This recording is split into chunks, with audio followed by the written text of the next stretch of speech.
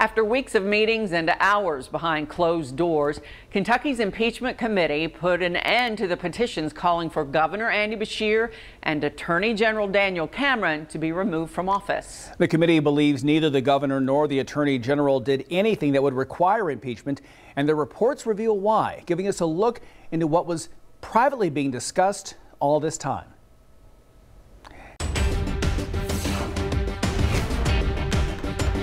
Impeachment committee is uh, back on the record. Late last night, Kentucky's impeachment committee finally reached a decision. The committee has found that none of the allegations made against the governor nor the um, attorney general rise to the level of impeachable offenses. The question is, why did they decide that? This committee has spent most of its time over the last few weeks behind these closed doors. They weren't telling anyone what was being talked about in there. But now, for the first time, these reports are giving us a look inside of this room. So the document speaks for itself. So, what do the reports actually say? Well, they're pretty clear. No further action is recommended on the petitions against Governor Andy Beshear and Attorney General Daniel Cameron.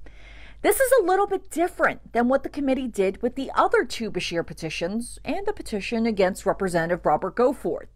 Those petitions were dismissed entirely because the committee said some of them didn't meet the appropriate standards. And when it comes to the high profile petition against Beshear, the committee made it clear they could have done that with this one too. Because, quote, the petition does not state how the purported violations meet the standard for impeachment other than to nakedly list various constitutional sections. But the committee decided not to dismiss it because they figured that would, quote, likely invite a subsequent petition. So they looked at all eight allegations made against Beshear. They're all linked to his COVID orders. And what they found is that, quote, the governor has not committed an impeachable offense.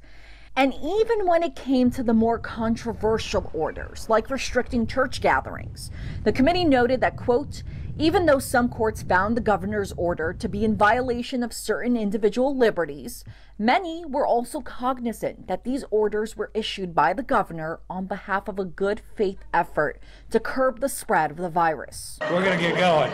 And that's what the governor has been saying all along. He repeatedly said the petition had no merit. Today, he even joked about it. I would call her my partner in crime, but I'm worried we'd get articles of impeachment.